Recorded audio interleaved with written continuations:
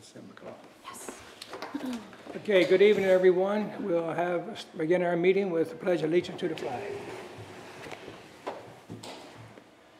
allegiance to the flag of the United States of America and to the republic for which it stands, one nation, under God, indivisible, with liberty and justice for all.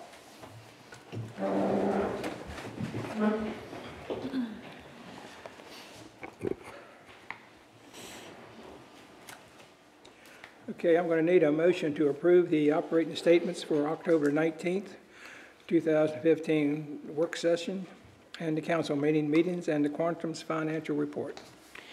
I make a motion that we approve the operating statements, October 19, 2015 work session minutes, September 28, 2015 council meeting minutes, and Quantum's financial statement for September 2015. I'll second it. Okay, we have it, uh, uh, second. All those in favor? Aye. Aye. All those opposed, no opposed, so be it. Okay, the mayor's report, uh, Perry is not here tonight, he is at, in, at the MML convention or to meetings in uh, Cambridge. So, uh, he has left me nothing to report on. So we'll move right on to the, uh, attorney's report, John? Okay, I have uh, two things to report on. The first is the, uh, the discussions we've had with the county, but the county doing stormwater management review for the town, same as they're now doing the floodplain review. Uh, And this is something that, that, that has been sort of a loose end for eight or 10 years. There hasn't been much stormwater review uh, since Jackson Ridge was reviewed and then, you know, went on hold for all these years. Uh, At that time, the county no longer wanted to review uh, town projects unless the town adopted the county law as its own law, which the town wasn't comfortable doing for all the reasons we've talked about on the floodplain, and that is to, to retain control and decision-making authority over stormwater management in the town.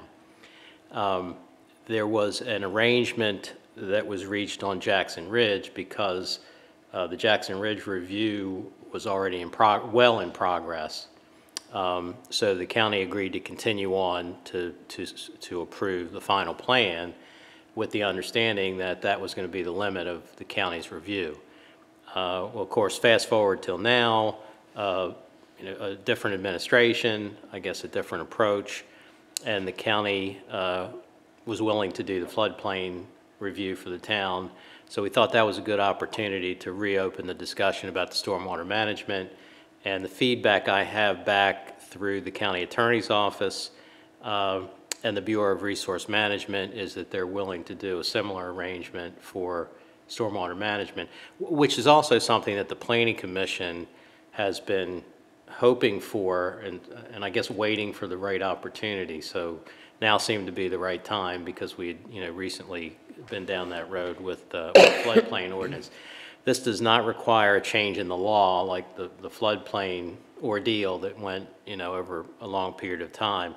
It, it would just um, entail uh, an agreement uh, that would be like the joint resolution that you all approved for the floodplain uh, administration.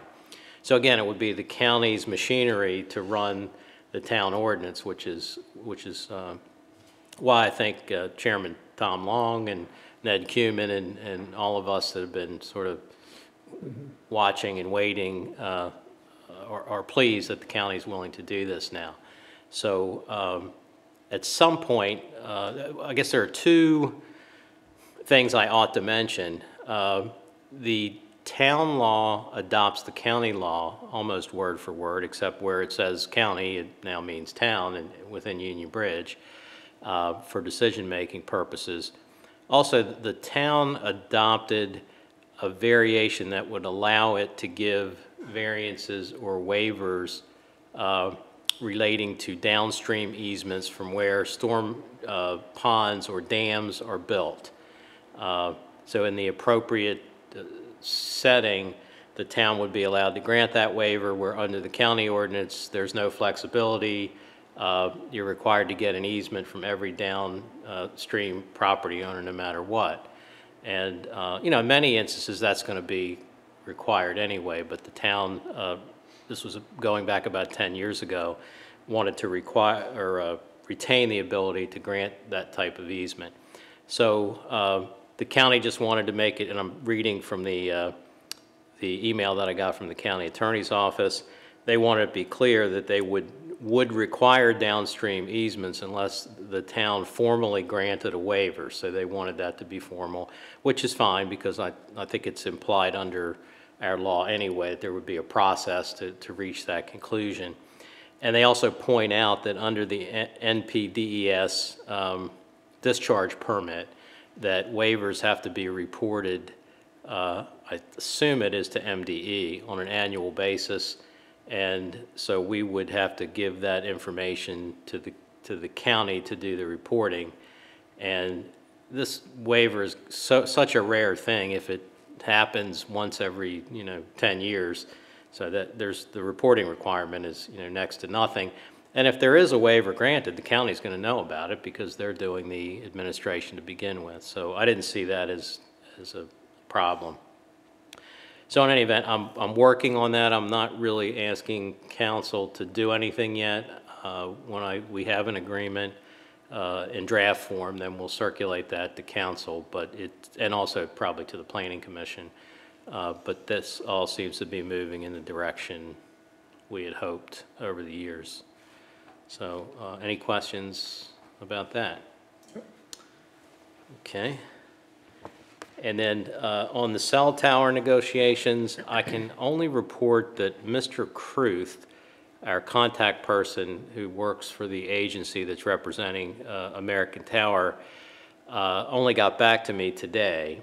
And I, I didn't want to give him any type of counteroffer in writing because I wanted him to understand the history that led to the, the town's feeling that perhaps an adjustment back up to the twenty-five percent sharing would be appropriate. And, and there, there is a history to that that, you know, he would not have been aware of. So I did talk to him at length about that. He understands it. Again, he's just the agent, so he can't approve it. But his reception was that, you know, I, we, I understand where the town's coming from, and the fifteen percent uh, sharing was arrived at at a time when the tower owner was struggling, and now the tower is a profitable, you know, operation. So he said, I, really wouldn't hesitate to present that to American Tower, which is what, you know, he will do. Uh, He said, you know, they could come back and, and uh, put a value on that and attempt to offset all or some of that against the thirty thousand dollar, you know, one-time uh, extension fee. But uh, he was willing to present it, uh, you know, he didn't try to discourage it. So I think they want to get this done. And um, he said it certainly makes sense. It had, it's tied to the history of the tower. So, uh, I mean, assuming that's, you know, and I've, I've got the message from council that that's what we want to do. So I'll give him, you know, unless there's some other thought, I'll give him a email or a letter that uh, puts that in writing. That'll give him something to present back to American Tower. We'll go from there. That's great, that's good, that's really good. Okay. All right, Okay, that is all I have. oh, you have, okay. All right, Jarrett is not here tonight, so we don't have any update on our grant status. So, wow. I don't want to set a record record here, but public comments. You guys got anything you want to say? Yeah, that stormwater, has anybody ever talked about making the bridge bigger down there in seventy-five? Well, yeah, in fact, as we've talked about for ever since I've been around. But uh, I understand from what Perry has told me, that he has met with some of the state highway people, and that they have stated that there isn't really anything wrong with that bridge as far as the structural part of it. Because I question about building this out here at Wolf Girls, putting, spending all that money for that, and not improving uh, or, you know, expanding the one over here at Little Pipe Creek. So that was the answer I got. That as far as the bridge, it's, it's uh, uh, structural sound. It just for traps water. Yep. And it's only gonna get, uh, I mean, we're all in the same place, it's only gonna get worse because as you have more building going on, we get more water here in Union Bridge, because it runs down this way. So you would think they could have the foresight to see that, but it seems like they don't. It don't really affect, a lot of people, three people where we live, and Richard and the Right. Yep. I mean, outside that. Yeah, Wasn't there some talk that uh, at some point of Jackson Ridge's development that that would be done now? My recollection is, not that the bridge would be replaced, but the culverts are planned under the Jackson Ridge plans, and I, I'm not an expert in the engineering of the plans, but, but that the culverts would be enlarged so that more water, it would have the capacity to carry more water through. Not that that would handle every, you know, every storm that could come along, but it would, Well, I know they Prove don't it. want to just open that up because then that's gonna make flooding much worse down on Boat Street down to, it'll flood worse because instead of holding it there, it's gonna let it all the way down to the next bottleneck. I know that's a consideration too, but it seems to me there is a, like you said, culvert pipe or something that was to be installed there at some point in Jackson Ridge development that would alleviate some of the, the additional flooding from Jackson Ridge. and there are plans here in the town that probably none of us could explain, but that have been reviewed by the engineers and approved as part of that final plan uh, for Jackson Ridge that, that address that. And I, we would need to, uh, you know, that would probably be a question better directed at the planning commission or maybe Ned Cuman, our planning consultant. Just so they don't forget about it, I hope somebody still, Well, there was considerable amount of review, I, I do remember that. There's a, there was a a floodplain study done. Uh, It's just been so long, I, uh, I'm not exactly sure what the outcome of that was, but there was a lot of discussion. it looks to me like the creek could be dug out you. You know, it's filled up on both sides of the bridge. Water can't get away right. Have to bring that up. yeah, I know what you, I know, I hear you, Bill, I know what you're talking about, believe me. So it's not forgotten. Well, I- the other thing is, the, you know, it kind of ties into what we were talking about. There's a, an engineer at the county, his name is Martin Covington. Martin came to at least two or maybe three of the planning commission meetings, and that was the topic of some discussion. And I believe he's the one that reviewed the plans. And uh, my guess is Martin, right off the top of his head, would remember how that got resolved and, and would be able to direct you to the plans or explain it. He, he would, I'm sure, be willing to talk to you. You can call him at the, the same place, this Bureau of uh, Resource Management is where he is at the county office building. Probably walk in and see him or give him a call. Jim Byatt may be able to answer that question for you as well. Yep.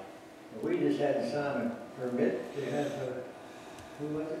No, that's for the creek, The, uh, yeah, for them to walk across our property, to get on our, to go to the creek, to study the stream and all that down a there. watershed residents. That's supposed to address the watershed residents. Let me walk on your property.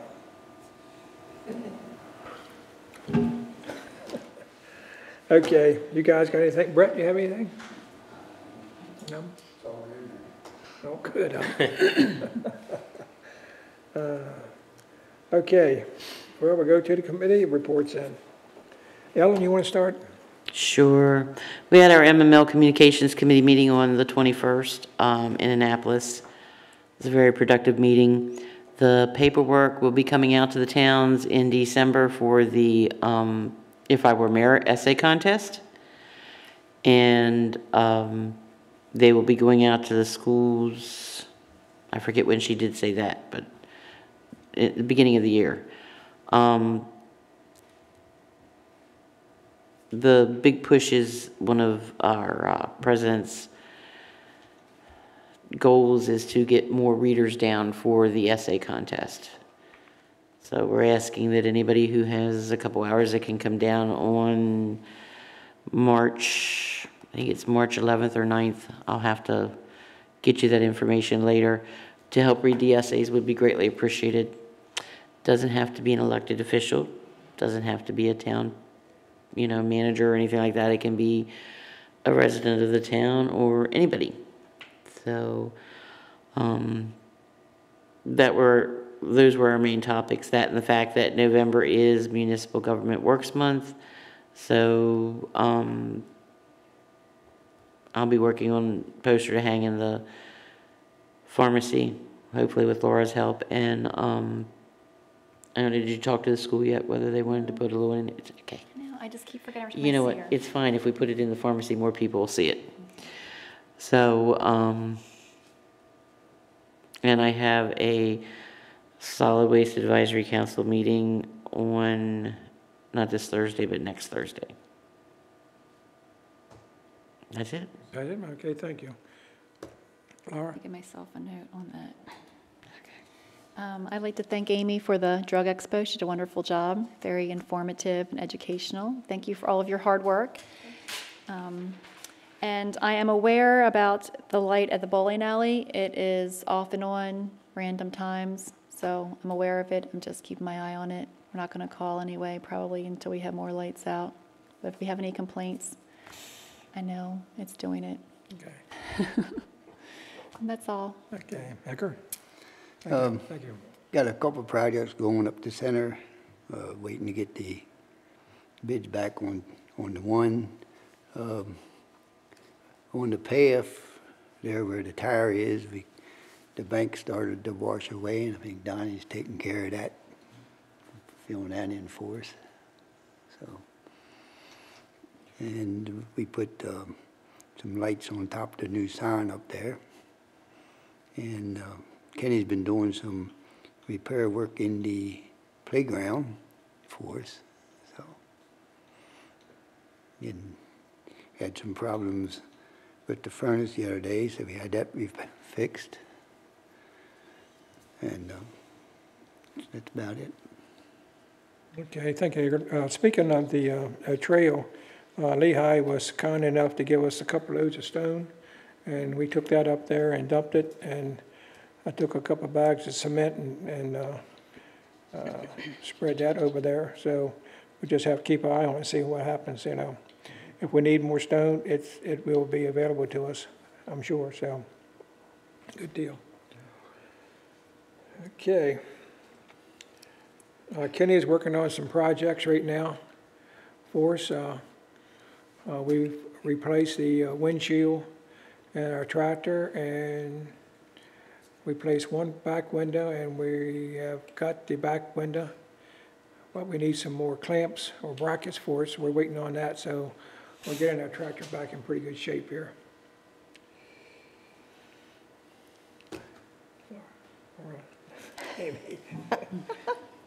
Since our last meeting, I have had one call about a water leak. Um, It was on the resident side. Mike did come out to check it out, though.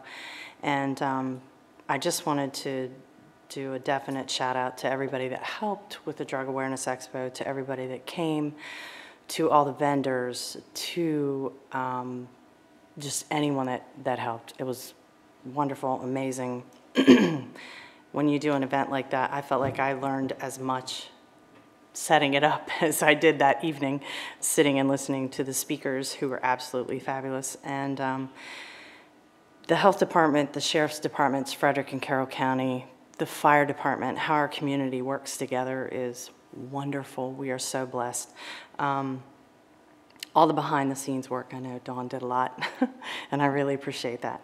Um, Master Sergeant Deputy Brian Calusi was absolutely the right hand in all of that, and he did wonderful work.